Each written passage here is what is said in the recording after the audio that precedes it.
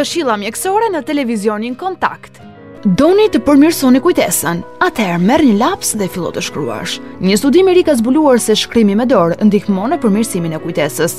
Studentët që marrin shënime me dorë përgjithsisht marrin rezultate më të mira se sa studentët që i mbajnë shënimet në kompjuter. Sipas psikologëve, mbajtësit e shënimeve me dorë arrijnë më shpejt të kapin konceptet e reja dhe të mbajnë më gjatë informacionet, pasi duke shkruar ata zhvillojnë procesin e të menduarit dhe krijojnë ide të reja, krahasuar me ata që i shtypin në kompjuter shënimet. Përveç rritjes së kujtesës, të shkruarit me dorë ka dhe anë të tjera pozitive. Studime të ndryshme kanë treguar se mbajtja e ditarit ndihmon në qartësimin e ideve dhe në menaxhimin e stresit. Këshilla mjekësore në televizionin Kontakt.